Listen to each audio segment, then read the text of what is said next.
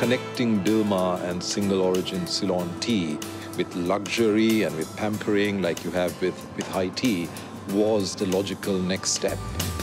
We are very much in the vanguard of a trend, a trend that at the moment is restricted to the cup, but one that this challenge is about taking it beyond onto the plate and so on. So it is absolutely important that there is a new generation of chefs and uh, hospitality people who understand and respect tea.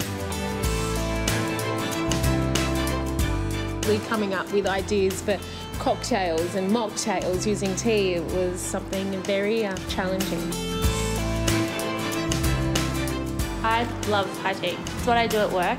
It's my favourite thing. Always nice to bring back old stuff with a modern twist, so yeah, I'm all for it.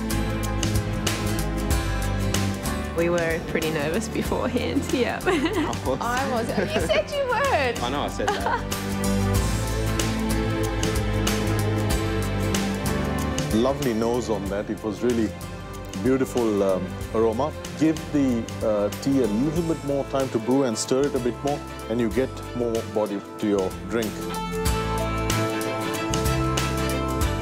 This uh, uh, particular drink, I could really still get the original tea flavor. That, that's, that's exactly what I'm looking for.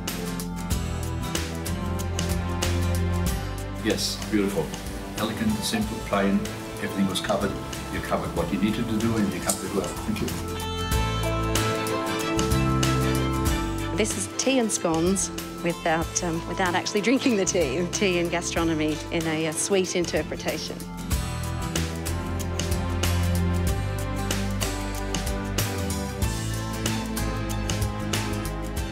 I want to thank all of you present here and all the Australians. In a special way, I want to thank those who tried it. Those who didn't, I would say, do try it. Thank you.